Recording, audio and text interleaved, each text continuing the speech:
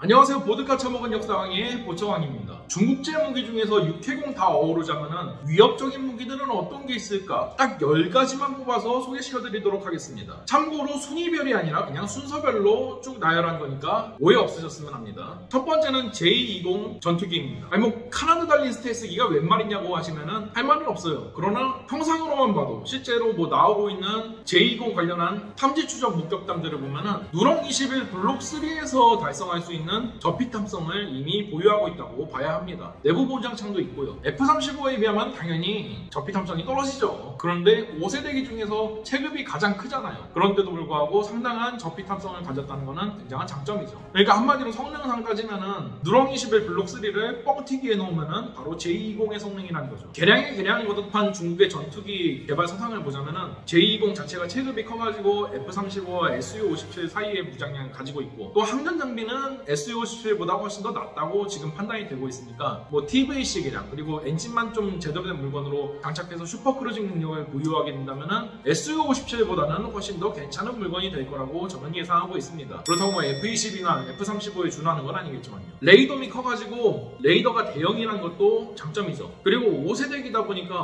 어찌되었든 4세대기가 상대하기에는 굉장히 어렵다는 게 문제예요. 두 번째는 수호 27과 그 계열기들입니다. 뭐 J15, J16 이런 것도 다 포함이에요. 중국이 대량으로 가지고 있는 수호이 27계열기들은 일단 기본적으로 대형 전폭기인데다가 소련이 원래 수호이 27을 개발할 때 F-15에 대항하려고 만든 물건이다 보니까 기본적으로는 성능 자체는 F-15에 준하다고 볼 수 있습니다. 물론 중국 같은 경우에는 러시아제 원판 수호이 27, 뭐 자기네들이 만든 카피판, 단순 조립 버전, 자체 개량판 이런 것들이 굉장히 혼란하게 혼용되어져 있는 계속보를 자랑하고 있긴 하지만요. 이런 게 500대 이상 굴러다니니까 위협적이지가 않을 수가 없습니다. 아무리 계속보여도요. 거기다가 수호 27 계열기 중 하나인 SU-35가 최근에 중국으로 도입된다고 하죠. 그래서 F-15K도 지금 현재 성능 가지고는 동부가 최강의 전폭기라고 말하기 어려운 상태가 되었습니다. 세 번째는 JH7입니다. 중국이 80년대부터 열심히 전투기를 깎기 시작해가지고 만든 중국판 테자스입니다. 정말로 개발 기간이 오래 걸렸어요. 물론 90년대 말부터 배치되기 시작했는데 중국의 작전 요구 성능 을 맞춘 기종은 사실상 JH7A에서야 구현이 되었으니까 30년가량의 시간이 걸렸던 거죠. JH7A형은 2007년부터 배치되었습니다. 원인은 원래 전자장비나 엔진들을 서방에서 제공받을 생각이었거든. 그래서 시제기는 심지어 롤스로이스 엔진을 달고 있었어요. 근데 이게 천안문 사태 때문에 부품 공급이 끊겼거든. 이걸 카피해가지고 만들어내는 시간이 추가로 걸렸던 거죠. 그리고 카피해서 만들어 보니까 신뢰성이나 성능이 원판에 비해서 굉장히 떨어졌던 거고요. 그러다 보니까 이걸 개량해서 다시 쓸만한 성능으로 만들어야 되기까지 시간이 더 걸렸던 거죠. 그러나 능력치는 테자스랑 확연히 다릅니다. 테자스는 그냥 다목적 전투기 내지는 공격기를 상정하고 있었는데 이 JH7 제품 같은 경우에는 대형 전폭기를 상정하고 만들다 보니까 공대지 작전 시에는 약 1800km 정도 진출할 수 있어요. 그리고 이렇게 장거리를 진출할 수 있는 이유는 중국 해군 항공대에서 장거리 대함 작전을 염두에 두어서 설계를 하게끔 지시했기 때문입니다. 그래서 이 때문에 대함 미사일을 장착하고 중국의 제1 도련선 안쪽에 연안 거부 전력으로 활동하는 중이고 현재 240대가 배치되었습니다. 그리고 큰 체급을 살려가지고 최근에는 전자전기형도 등장했죠.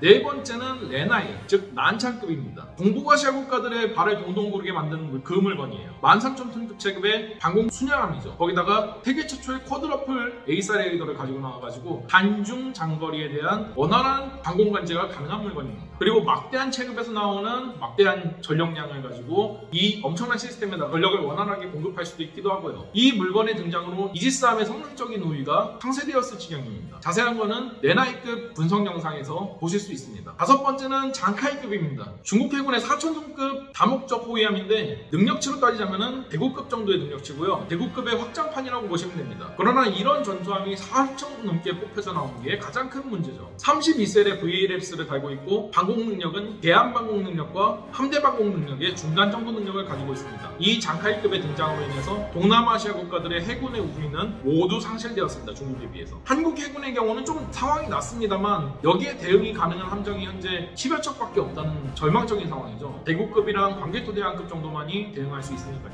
물론 뭐 7기동 전단에서 구축함들이 올라오면 대응할 수 있겠지만 얘네는 다른 중국의 대형 방공 구축함들을 막아야 될 임무를 가지고 있는 물건이다 보니까 어렵죠 사실. 더군다나 요즘 좀 상황이 나아진 것이 중국의 장카이급이 등장했을 때는 90년대 말이었습니다. 그때 당시 우리나라는 광개토대왕급 3척 뽑고 있었죠. 심지어 일부 성능은 광개토대왕급도 못못 따라잡았고 지금 나온 대국도 사실 장카이급 후기형 가면은 현황적으로 못 따라잡은 경우도 있어요. 그래서 장카이급이 훨씬 낫다고 평가하는 경우도 있고요. 레오급에 비해서. 여섯 번째는 장다오급입니다. 1500톤급이라 가지고 우리나라 해군의 PCC 즉 포화급이랑 거의 동급이고 인천급보다 작은 사이즈이긴 한데 대공, 대함, 대장 능력치가 굉장히 밸런스가 좋게 뽑혀서 나온 데다가 체급에 비해서 할 줄 아는 게 많다 보니까 굉장히 위협적인 함입니다. 이런 게 60척 이상 뽑혀서 나왔고 앞으로도 100척 이상 뽑혀서 나온다고 하니까 www.thebrainfarm.com. 더 위협적이죠. 일곱 번째는 쿤밍급입니다. 란저우급의 자일리톨 레이더에서 탈피한 드디어 제대로 된 3연 배열의 AESA 방공 레이더를 가지고 있는 물건인데 이지스 시스템이랑 일본의 FCS3 시스템에 비벼볼 수 있는 물건이고 소프트웨어 수준은 솔직히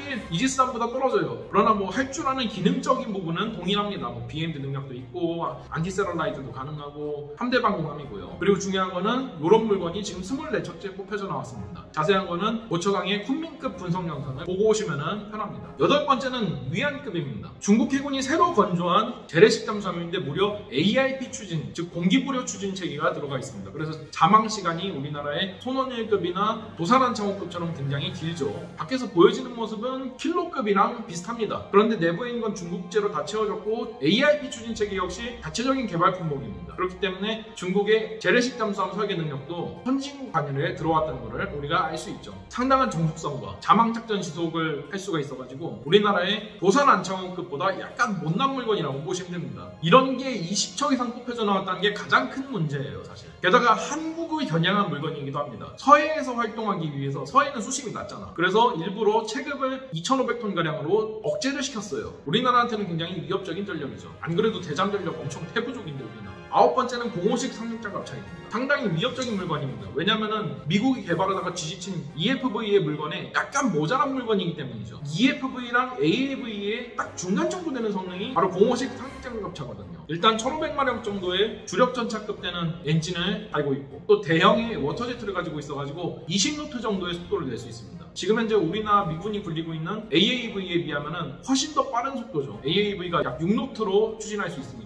거기다가 파도막이가 엄청나게 커요. 그리고 장갑차의 형태 자체도 배랑 비슷하게 설계를 했거든요. 그래서 장거리에서 발진해도 충분히 배처럼 항해해가지고 나갈 수 있는 물건입니다. 이게 왜 이렇게 만들어졌냐면은 중국이 상륙함들은 있지만 대부분이 구식 LST들이란 말이죠. 지금 현재 강습 상륙함들은 막 뽑혀져 나오고 있는 중이에요. 그래서 장거리에서 발진해도 대만 해협을 건너가지고 상륙할 수 있게끔 만들기 위해서는 결국 배처럼 비슷하게 만들 수밖에 없었습니다. 그리고 뭐 병력 수송용도 있지만 전차포를 달아놓은 화력 지원형도 존재합니다. 마지막으로 HQ-17입니다. 러시아의 토르 야전 방공망 시스템을 갖다가 카피 생산한 물건이에요. 중국이 90년대에 프랑스 의 크로타일 체계를 들여와가지고 그걸 카피 생산해서 HQ-7을 만들었습니다. 크로타일과 HQ-7은 당시에도 뛰어난 대공 체계였는데도 불구하고 중국은 여기에 만족하지 않았어요. 그래서 러시아한테 접근해가지고 토르 M1을 사와요. 그런데 2000년대 초반에 문제가 하나 생겼죠. 러시아제 수호이 27 전투기를 도입했는데 기술을 무단으로 유출하려다가 걸린 겁니다. 그래서 러시아가 신형무기 판매를 막았고 기술진들을 철수시켰어요. 그래서 중국은 어쩔 수 없이 이 토르 체계를 그대로 카피해가지고 만든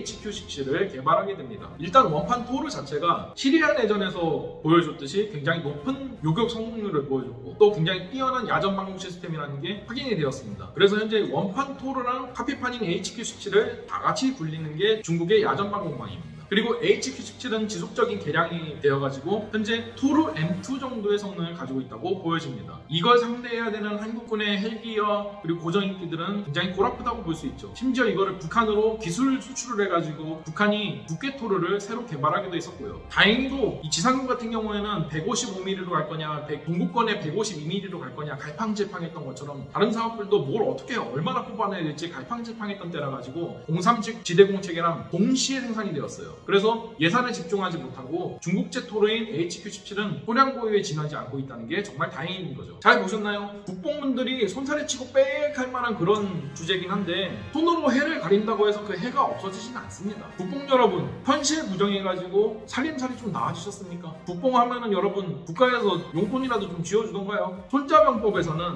나도 모르고 적도 모르면 필히 위태로워진다고 하였습니다. 여러분 위태로워지지 마세요.